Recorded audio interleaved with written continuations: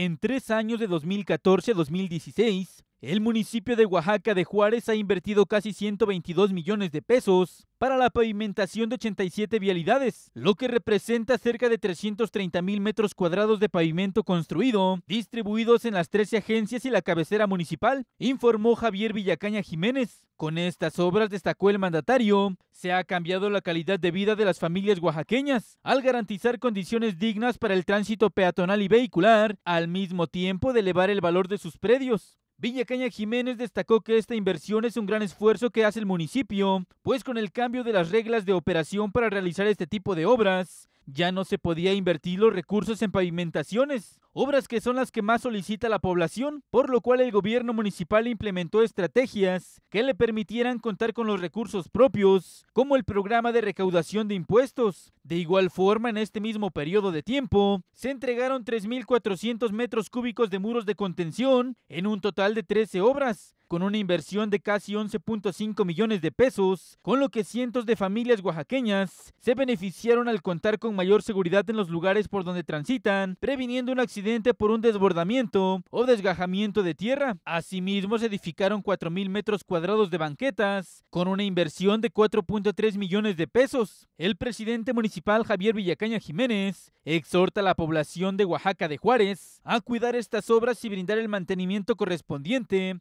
lo que se traducirá en su durabilidad y funcionalidad.